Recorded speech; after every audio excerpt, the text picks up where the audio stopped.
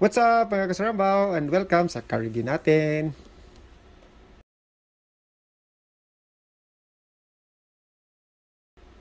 Thank you nga pala sa Toyota Mobolo for letting us review their cars.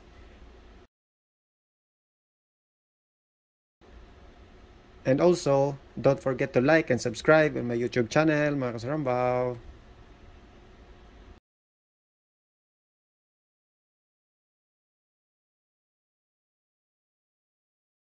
This is the 2022 Toyota FJ Cruiser 4.0 V6. Hindi to pwede sa mga nagtitipid ng gasolina mga kasarambaw. 2.128 million to.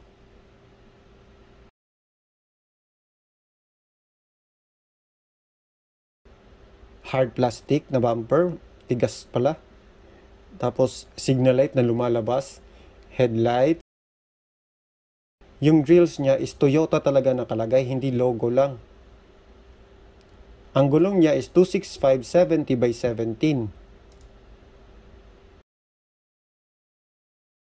Side mirror na bulky. Tapos ilaw lang to, hindi to repeaters mga kasarambaw. Tatlo yung wiper kasi malapad. Walang roof rails.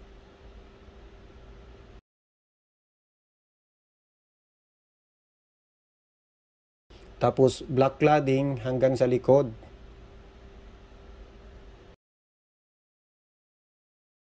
Dito naman sa likod, spare tire, hinges na ang lalaki, dalawang backup sensor at saka backup camera integrated sa spare tire niya sa gitna. Tingnan nyo, oh, bulking-bulky yung taillight niya sa likod. Lumalabas talaga sa body. Buksan natin yung trunk. Tingnan nyo mga kasarambaw, oh, ang lapad ng pinto sa trunks. Dito sa likod is puro plastic. Mag-slide yung mga gamit mo dito. Pero pwede mo i-fold yung mga upuan paharap. 60-40 pa rin yung hatian sa pag-fold. Tapos merong mga hook. Kailangan mong i-hook yung mga gamit mo dyan para hindi magtakbo-takbo.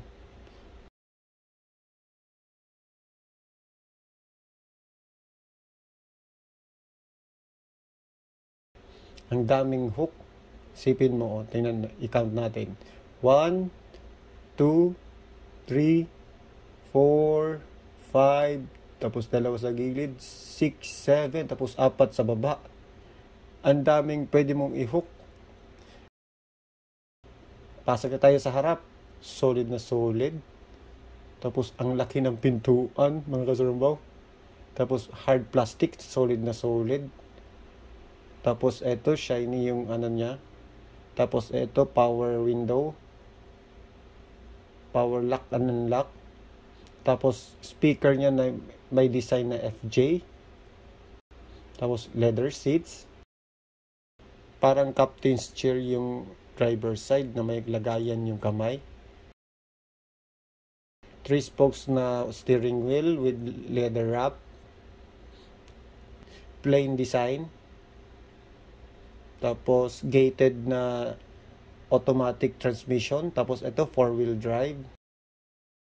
Traction control off. Rear differential lock. Tapos parking sensor off manual aircon tapos ang lalaki ng dials niya. Infotainment system, sun na may mirror sa driver side. Tapos ito sun visor sa gilid sa driver side pero ang tigas. Tapos sun visor din na may mirror sa passenger side. Tapos sun visor din to sa gilid pero ang tigas hindi natin alam mga kasurbaw paano ibaba glove box pero di natin mabuksan kasi merong headrest doon sa baba. Tapos solid na solid mga kasarmaw, airbag. Tapos may parang tubo-tubo design na pwede mong kapitan. Tapos pwede mong buksan dito. Tapos ito, itong tatlong to is compass, tapos temperature sa labas, tapos uh, degree of articulation ng sasakyan. Doom lights na pindutan. Doon tayo sa likod. Ang bigat ng pintuan mga kasurumbaw.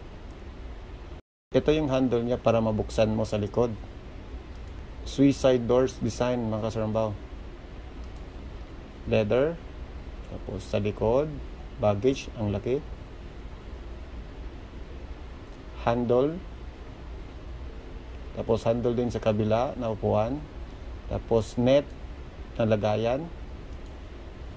Pero sa kabila, wala dome light sa gitna. Tapos ito yung view niya sa harap. Parang pintuan ng eroplano mga kasarambaw. Bottle holder, dalawa, up and down.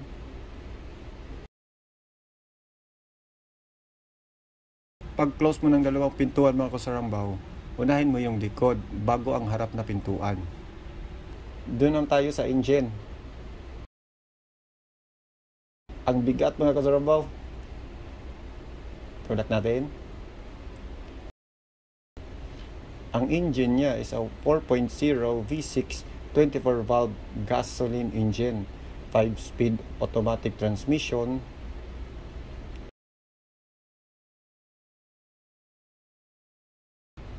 Tapos max output niya mga kasarmaw is 286 horsepower, max torque is 380 newton meters of torque.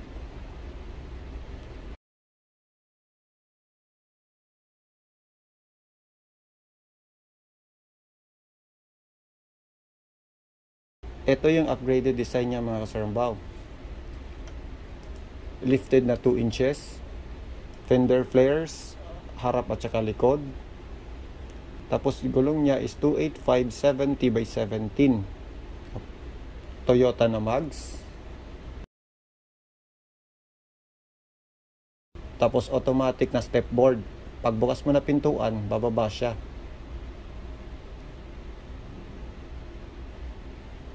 Pag close mo naman, aakyat ulit. Tapos lifted sa ilalim. Tapos yung muffler niya stainless na mga kasarambaw. TRD. Kita nyo? Matangkad na siya mga kasarambaw.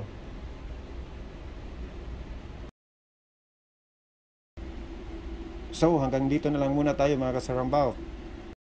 Don't forget to subscribe on my YouTube channel. Thank you nga pala sa panonood. Hanggang sa muli. Peace!